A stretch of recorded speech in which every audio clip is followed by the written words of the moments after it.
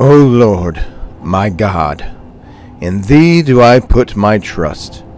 Save me from all them that persecute me, and deliver me, lest he tear my soul like a lion, rending it in pieces, while there is none to deliver.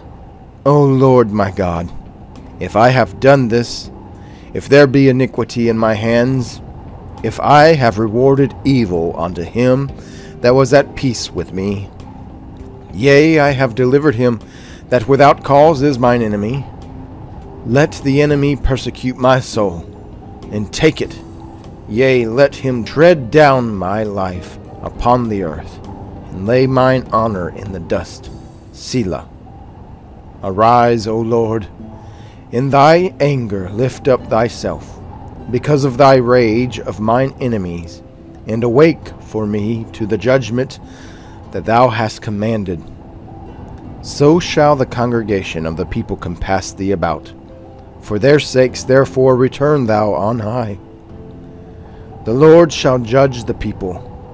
Judge me, O Lord, according to my righteousness, and according to my integrity that is in me.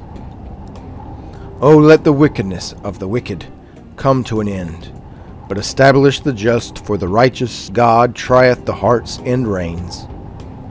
My defense is of God, which saveth the upright in heart. God judgeth the righteous, and God is angry with the wicked every day. If he turns not, he will whet his sword. He hath bent his bow, and made it ready. He hath also prepared for him the instruments of death. He ordaineth his arrows against the persecutors. Behold, he travaileth with iniquity, and hath conceived mischief, and brought forth falsehood. He made a pit, and digged it, and is fallen into the ditch which he made. His mischief shall return upon his own head, and his violent dealing shall come down upon his own pate.